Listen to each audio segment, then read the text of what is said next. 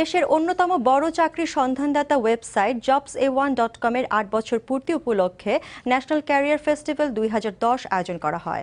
সোমবার সকালে জাতীয় জাদুঘর মিলনায়তনে আয়োজিত অনুষ্ঠানে বিভিন্ন ক্ষেত্রে অবদানের জন্য মিডিয়া ব্যক্তিত্বদের সম্মাননা দেওয়া হয়। এতে অনুষ্ঠান প্রযোজনায় আর টিভির শারিয়ার ইসলাম, সাংবাদিকতায় এটিএন বাংলার জয়ী মামুন, দৈনিক কালের কণ্ঠের পারভেজ খান ও বাংলা ভিশনের রুহুল আমিন রুশদকে সম্মাননা দেওয়া হয়। অর্থনীতিবিদ অধ্যাপক মুজাফর আহমেদ এ সম্মাননা তুলে দেন